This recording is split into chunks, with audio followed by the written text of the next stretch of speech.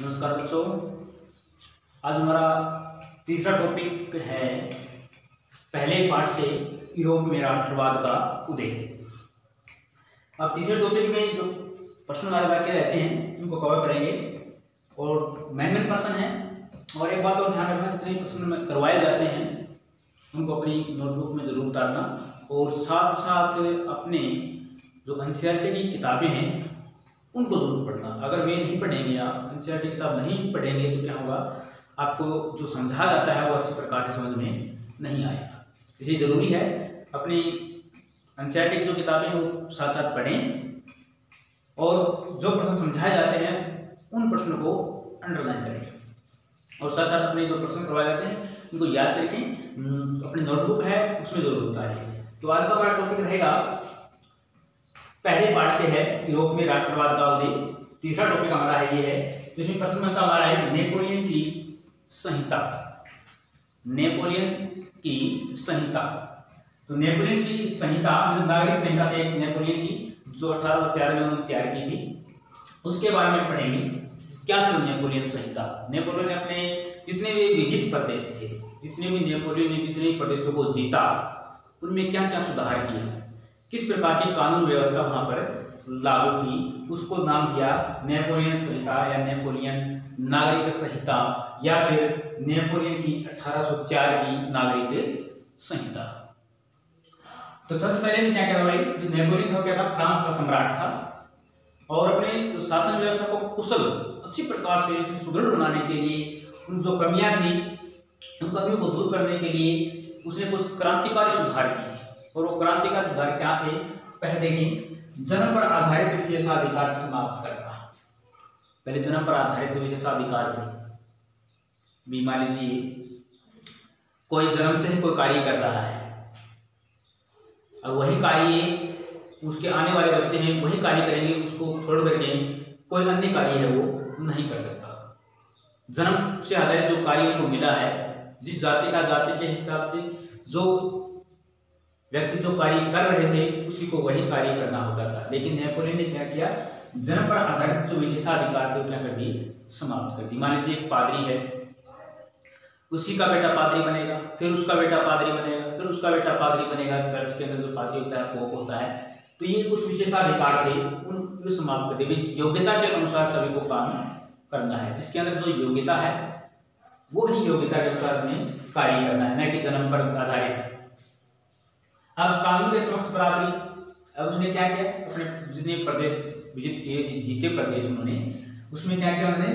कानून के समक्ष बराबरी कानून के समक्ष सब बराबर है। कोई गरीब नहीं है, कोई अमीर नहीं जो गुनाह करता है, जो कानून के, का उल्लंघन करता है, चाहे वो गरीब है, चाहे अमीर है, चाहे पैसे वाला है, चाहे धनी वर्ग का है, चाहे निर्धन वर्ग का है, उसको वही सजा मिलेगी जो कानून के अकॉर्डिंग उसमें होती है। और संपत्ति के अधिकार सुनिश्चित कर दिए। पहले संपत्ति का अधिकार नहीं था लोगों के पास भी संपत्ति इकट्ठी करके हम अपने पास रख लें ये अधिकार नहीं था, लेकिन नेपोलियन ने क्या किया? संपत्ति का अधिकार भी सुरक्षित कर दिया कि आप अपनी संपत्ति को सुरक्षित रख सकते हैं। तीसरी बात, प्रशासन के विभाजन का सरल बना दिया। प्रशासन पहले राजा होता था, राजा के अधिकार क्षेत्र में सारा प्रदेश है, वो आता था। राजा जो कानून पास करता था, उसी के अकॉर्डिंग है, वो सारा राज्य है, वो कार्य करता था। लेकिन नेपोलियन ने क्या किया? प्रशासन का विभाजन सरल बना दिया। प्रशासन को बांट दिया अलग क्षेत्रों में।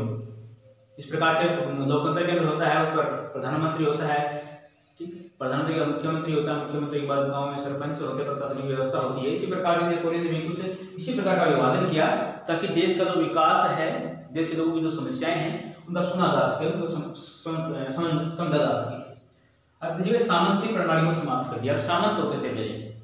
बड़े बड़े जमींदार या सामंती होते थे, उनके अधीन रहकर के मजदूर जो किसान है, वो कार्य करते थे। वो सामंती प्रणाली थी, वो भी खत्म कर दी, समाप्त कर दिया अगला पॉइंट क्या है किसानों को भू दास्ता जागीरदारों के कर मुक्त कर दिया। अब किसानों को समस्या थी, बहुत ज़्यादा भू दास थे। बड़े बड़े जमींदार थे, उन जमींदारों की भूमि पर वो कार्य करते थे, और वहीं पर रहकर के अपना गुजारा करते थे। और जितनी फ़सल होती थी खुद मेहनत करते थे, सारा काम खुद करते थे, लेकिन कर के रूप में सारे जो जमींदार जो लोग थे, कर के रूप में उनकी सारी फ़सलें ले जाते थे। तो इस प्रकार के जो कानून थे, नेपोलियन को समाप्त कर दिया। अगला पॉइंट हमारा, कारीगरों के श्रेणी समूह के नियंत्रण समाप्त कर दिए। कारीगर, जो कारीगर थे, जो कारीगर लोग थे, उनकी श्रेणी संघ थे, उनका जो नियंत्रण था, वो समाप्त कर दिया। कारीगर कोई भी कारीगर हो सकता है, चाहे हाथ से काम करने वाले हों, मशीनों से काम करने वाले हों, हाथों से काम करते थे, भाई, कुम्हार है, लोहार है, इस प्रकार के जो कारीगर लोग थे, उन पर नियंत्रण था। भाई, ये जो कारीगर है, मेरे हैं, ये मेरे हैं, ये मेरे हैं नियंत्रण था, वो अपना सामान उन्हीं को बेच बेच सकते थे, और किसी अन्य को नहीं बेच सकते थे। इस प्रकार के जो नियंत्रण था उन कारीगरों पर, उस नियंत्रण को भी समाप्त कर दिया। यातायात संचार प्रणाली, यातायात के में सामान को लेना ले जाने के साथ जो साधन थे, उस समय नेपोलियन के समय, उनमें और ज़्यादा तीव्रता ला दी उनको और ज़्यादा सुधार किया और संचार प्रणाली भी एक दूसरे से खबर पहुँचाने के लिए संचार प्रणाली थी उस समय की, उसमें सुधार उन्होंने किया। मापतौल के एक समान पैमाने अब जितने भी प्रदेश विजित किए, जीते थे, उनमें मापतौल की जो प्रक्रिया थी वो अलग अलग थी। मान लीजिए बहुत बड़ा यूरोप है, यूरोप के अंदर यूरोप के अंदर जाएँगे हम तो कहीं पर तो एक किलो को, एक किलो के अंदर आठ सौ ग्राम है, कहीं के एक किलो के अंदर चार सौ ग्राम कहीं एक किलो के अंदर पंद्रह सौ ग्राम भी हो सकते थे। भाई, हर प्रकार हर क्षेत्र में क्या था नाप तोड़ के जो औज़ार थे तोड़ने के जो औज़ार थे, वो, उनका जो भार था, वो कम ज़्यादा होता था। मापने के उधर मीटर में मापते हैं, कोई सेंटीमीटर में मापता था, कोई फुट में मापता था, इस तरह को किलो में मापता था, कोई शेयर में मापता था, कोई इस प्रकार मापने के और तोलने के जो पैमाने थे, वो क्या थे? हर जगह अलग अलग थे। तो उन्होंने नेपोलियन ने क्या किया जितने भी अपने प्रदेश थे, जितने भी प्रदेश में जीते थे, उन प्रदेशों में मापने, तोड़ने की जो प्रक्रिया थी, वो एक समान कर दी। ठीक है? मैं मान लीजिए एक किलो में हज़ार ग्राम है तो एक किलो में हर पूरे क्षेत्र में हज़ार ही ग्राम होंगे। इसी प्रकार से नेपोलियन ने उस समय नेपोलियन के अकॉर्डिंग उन्होंने अपने जो मापतोल के जो पैमाने थे उस पूरे अपने विजित प्रदेश के अंदर एक समान कर दी। अब पूरे देश में एक ही राष्ट्रीय मुद्रा प्रचलित कर दी। अब राष्ट्रीय मुद्रा भी अगर तोलने के, मापने के औज़ार के अलग अलग थे तो उनकी मुद्रा भी अलग अलग, उनके पैसे भी अलग अलग होंगे। पैसे भी अलग अलग थे उनकी। तो नेपोलियन क्या किया? पहले उनकी मुद्रा बहुत ज़्यादा से ज़्यादा मुद्रा थी। उन मुद्रा को समाप्त कर दिया उन्होंने और समाप्त करके मुद्रा को क्या कर दिया? एक मुद्रा या दो मुद्रा के रूप में प्रचलित कर दिया ठीक है, ये था हमारा नेपोलियन की नागरिक संहिता। नेपोलियन के कानून, जो कानून उन्होंने अपने जो प्रदेश उन्होंने जीते थे, जिन प्रदेशों में नेपोलियन का शासन था, उन प्रदेशों में ये सुधार लागू किए। इस प्रकार के जो कानून है, वो लागू की अब इसी के संबंधित प्रश्न आता हमारा वियना संधि।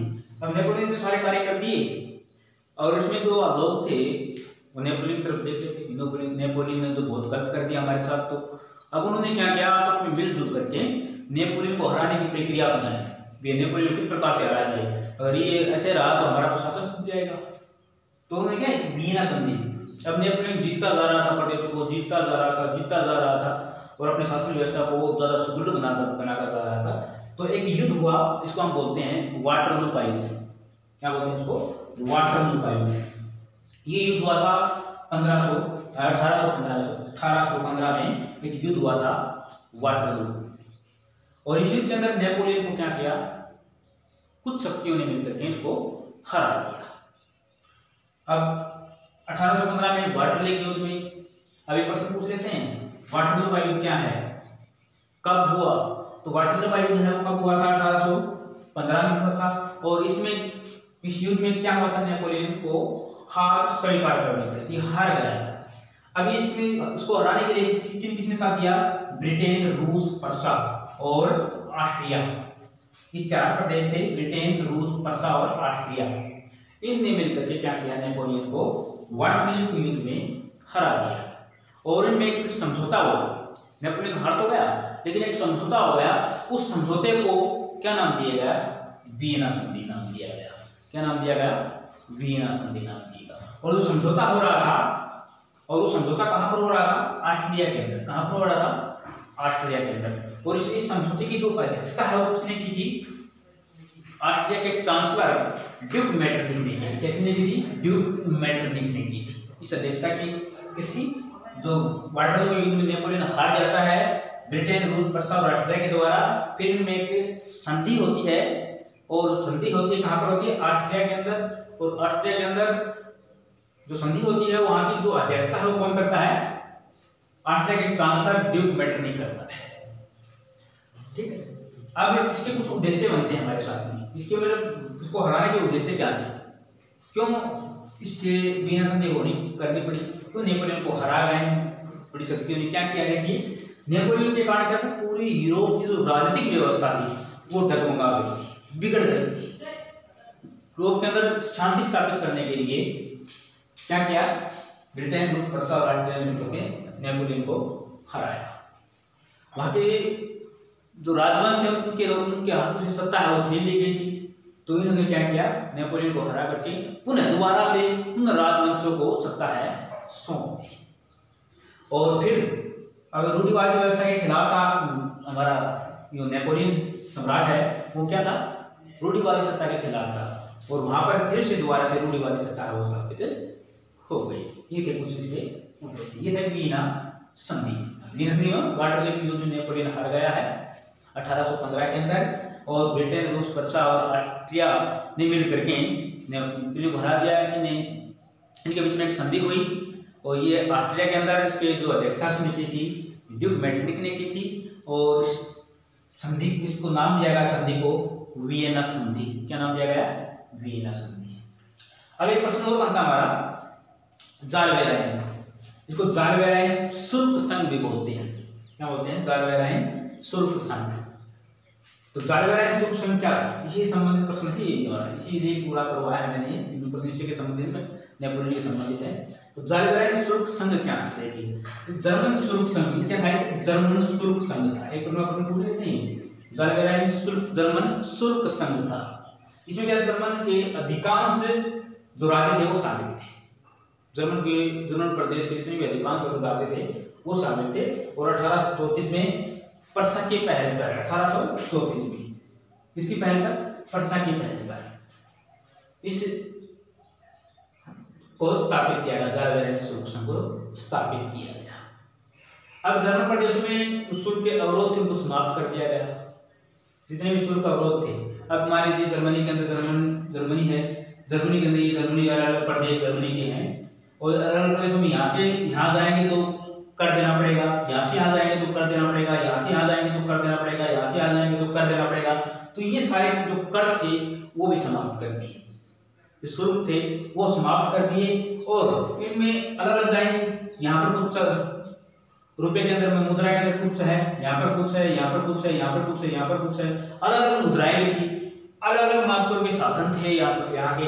तो इन सबको क्या कर दिया? समाप्त कर दिया अलग अलग प्रदेशों में यानी तीस से अधिक मुद्रा यानी तीस से अधिक मुद्रा, अलग अलग पैसे। लेकिन क्या था इसके पास बाद में क्या कर दिया इनको? ये सारे तीस से अधिक जो मुद्रा के प्रकार थे, इनको खत्म करके खाली जो मुद्रा की कितनी बना दी? दो प्रकार की बना दी।